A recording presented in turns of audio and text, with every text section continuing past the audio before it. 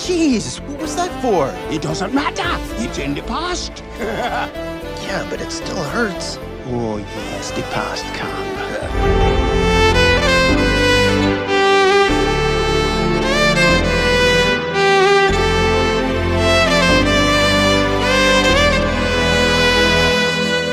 ആയിരം വാഴിടാൻ